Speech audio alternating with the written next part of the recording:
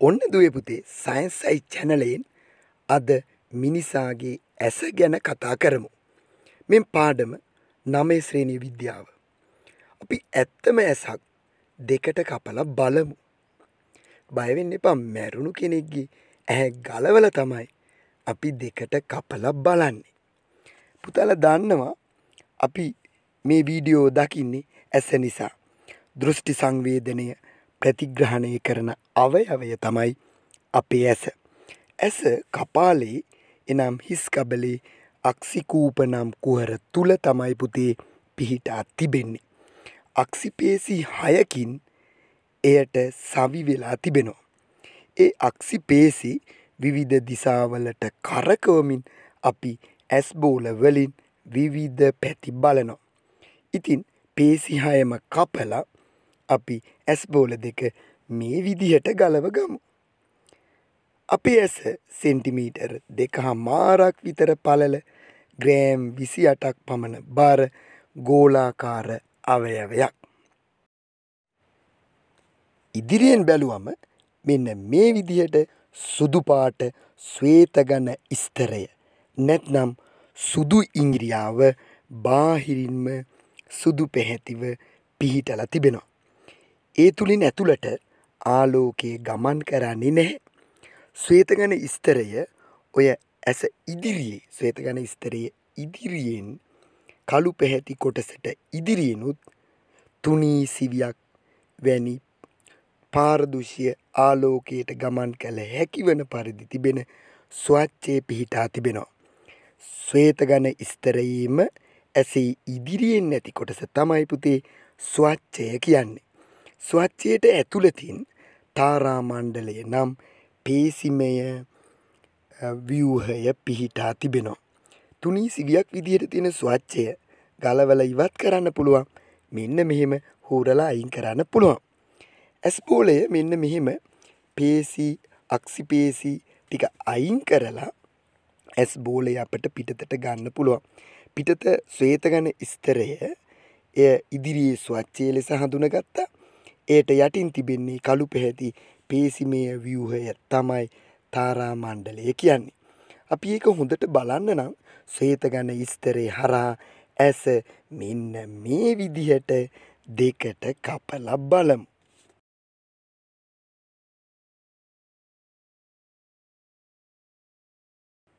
ඇස ඇතුළත තිබෙන්නේ කාච රසය නම් ජල්ලිමය ද්‍රවයක්.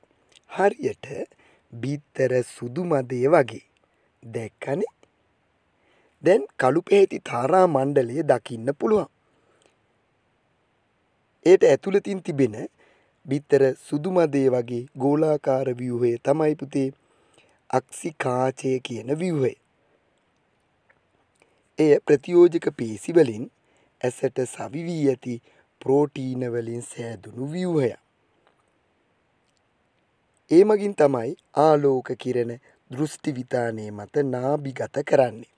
ස්වච්චය සහ කාචය අතර අවකාශයේ අම්මය රසය නම් ජල්ලිමය ද්‍රාවණයක් පිරී තිබෙනවා. මේ අපි ඒ ටික හූරලා අයින් කරන්න පුළුවන් මෙන්න මේ විදිහට.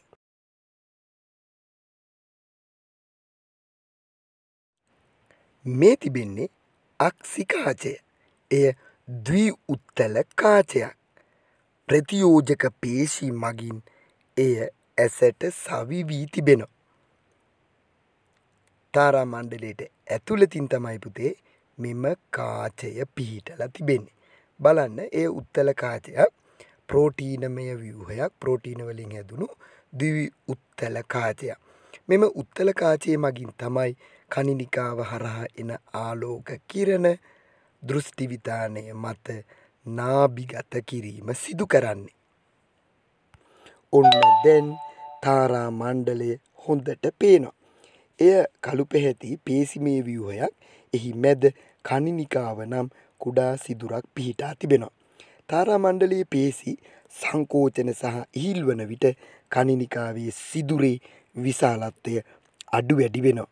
එවිට ඇස තුළට ඇතුල් වන ආලෝක ප්‍රමාණය පාලනය වෙනවා. තාරා මණ්ඩලයේ කාර්ය තමයි ඇසට ඇතුල් වන ආලෝක ප්‍රමාණය පාලනය කිරීම. ඇසට ආලෝක ඇතුල් යන්නේ කනීනිකාව තුළින්.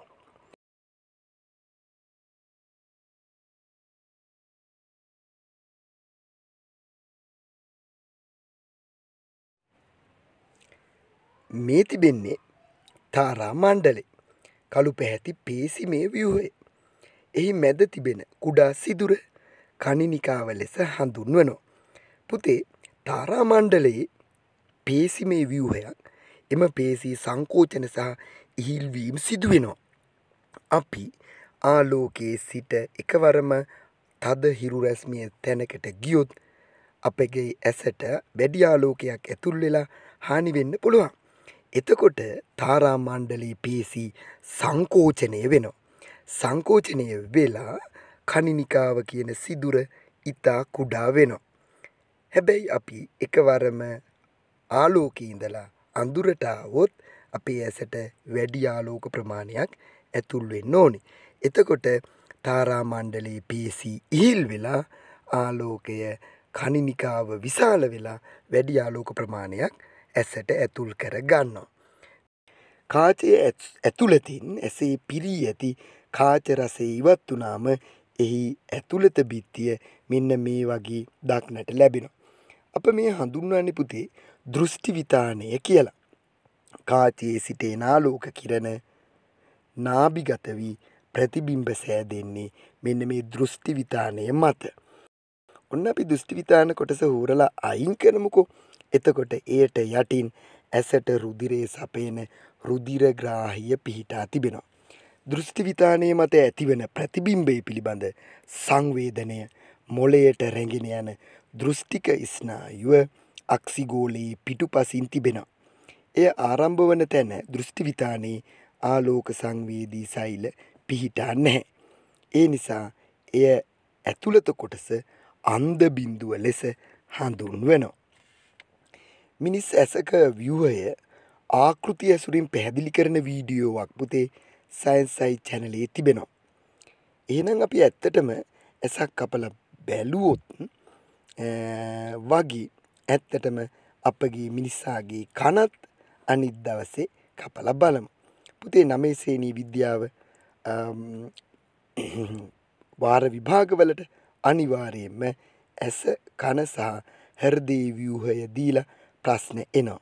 එහෙනම් ඇහැ හොඳට බලාගන්න ඇස පරිස්සම් කරගන්න අයිබුවන්